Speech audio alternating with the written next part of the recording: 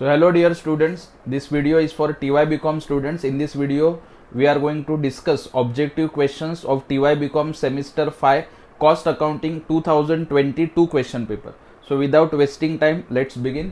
सबसे पहले आप लोग देख सकते हो MCQ पूछा हुआ है तो इसके आंसर्स हम लोग क्विकली डिस्कस कर लेते हैं ठीक है so first point royalty on production is royalty on production क्या होता है फिक्स कॉस्ट है सेमी वेरिएबल है वेरिएबल है सेमी फिक्स्ड है so it's a variable cost because royalty आपको पता होगा royalty is a direct expense अगर आपको फॉर्मेट पता है कॉस्ट शीट का so you know very well royalty is a direct expense तो direct expense is variable next point dash is equal to direct material direct labour direct expense एकदम फालतू question so answer आएगा prime cost तीनों direct को मिला के prime cost मिलता है आपको, ठीक है?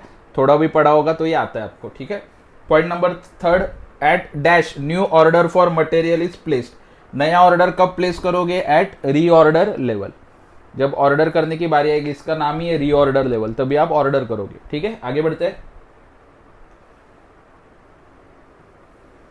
Next four five six we will see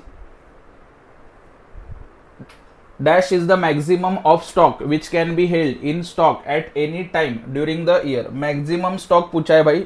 तो इधर ही मैक्सिमम है तो कॉमन सेंस है आंसर भी आएगा मैक्सिमम लेवल ओके आगे. लेबर टर्नओवर का मतलब क्या होता है? लेबर टर्नओवर का मतलब होता है change in labour force workers job भी छोड़ के जाते हैं that is called as labour turnover छोड़ के जाएँगे, नए आएँगे, ठीक है? तो नंबर ऑफ़ वर्कर्स चेंज होते रहेंगे हमेशा. Dash bonus sorry bonus under Halsey plan is paid at एकदम इजी है. 50 percent of time saved formula पता होगा तो उसमें हम लोग यही यूज़ करते हैं। 50 परसेंट ऑफ़ टाइम सेव्ड, ठीक है? आगे। नंबर सेवन इधर है, सेवन डिस्कस कर देते हैं quickly tea and lunch break. Tea and lunch break I think पिछले एक वीडियो में मैंने बताया था कि वर्कर आएगा, चाय पिएगा, या फिर खाना खाने के लिए जाएगा। सो so, उसको हम लोग अवॉइड नहीं कर सकते। So it's a normal idle time उस वक्त आप एज्यूम नहीं कर सकते आप ये एक्सपेक्ट नहीं कर सकते कि वर्कर प्रोडक्शन करेगा। So normal idle time is the right answer eight nine and ten आगे भी है। Eight nine ten eleven twelve एक साथ आ रहे क्या देखते हो? यस नहीं आ रहे पहले तीन डिस्कस कर लेते इत, इतनी भी घाई नहीं है।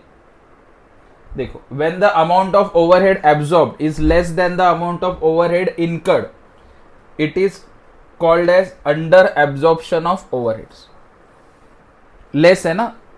Okay okay? मतलब एक्चुअल में खर्चा ज़्यादा हुआ है और लिखते वक्त कम लिखा है so that is under absorption next one number nine indirect cost indirect cost के बारे में क्या लिखा है? कैन बी ट्रेस्ड तो इनडायरेक्ट कैसे हुआ? कैन नॉट बी ट्रेस्ड जिसको आप ट्रेस नहीं कर सकते, उसको बोलते हैं इनडायरेक्ट कॉस्ट जिसको ट्रेस कर सकते उसको बोलते हैं डायरेक्ट कॉस्ट ठीक है? Number ten the process of charging the traceable overheads to cost centre is called as overhead allocation cost centre wise आप उसको एलोकेट करते हो so that is called as overhead allocation next eleven and twelve देख लेते, बाद में true और false discuss करेंगे.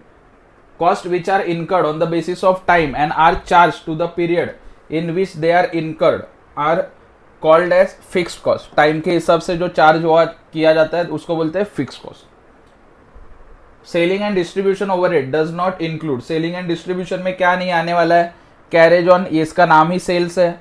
वेयर हाउस का पर्पज ही सेल्स होता है. Okay okay? स्टोर करके रखते हो एडवर्टाइजमेंट सेल्स के लिए करते हैं.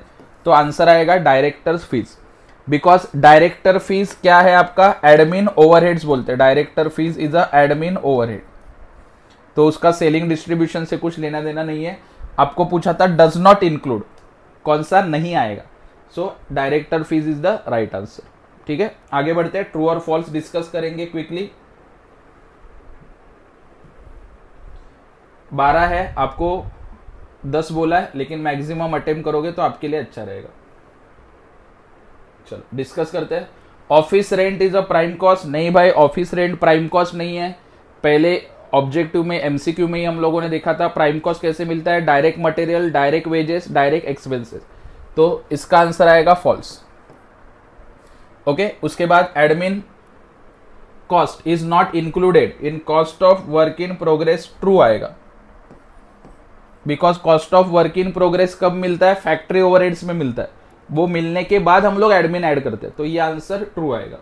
Variable cost is the cost, which does not vary बोला है। With the changes in the volume of activity in the short run तो इसका आंसर आएगा false because variable cost vary होता है ना प्रोडक्शन के हिसाब से चेंज होता है। इसके लिए तो उसको वेरिएबल बोलते हैं। तो इसने बोला डज नॉट वेरी तो ये फॉल्स है। Reorder level is calculated as maximum level minus minimum level तो ये गलत फॉर्मूला है भाई। फॉर्मूला आपको पता रहेगा। एक वीडियो भी है अपने चैनल पे, देख लेना लेवल्स का, उसमें आपको पता चल जाएगा। Number five under the weighted average method a new issue price is determine after each purchase तो इसका आंसर आएगा ट्रू परचेज के बाद नया प्राइस डिटरमाइन होता है. वेटेड एवरेज में आपने पढ़ा रहेगा क्वेश्चन सॉल्व किया रहेगा एवरेज निकलते हैं हम लोग प्राइस का. Materials are issued from one process to another on the basis of goods received note तो इसका आंसर आएगा फॉल्स रिक्विजिशन आता है. Reconciliation of cost and financial accounts is necessary in case of non integrated system of accounts तो इसका answer आएगा true integrated का मतलब होता है दोनों एक दूसरे से रिलेटेड है नॉन इंटीग्रेटेड का मतलब एक दूसरे से रिलेटेड नहीं है ओके ये चैप्टर आप लोग नेक्स्ट सेमिस्टर में पढ़ोगे, जो बच्चे हैं टी वाई बी कॉम के नेक्स्ट सेमिस्टर में ये इंटीग्रेटेड नॉन इंटीग्रेटेड का फंडा आपको आएगा।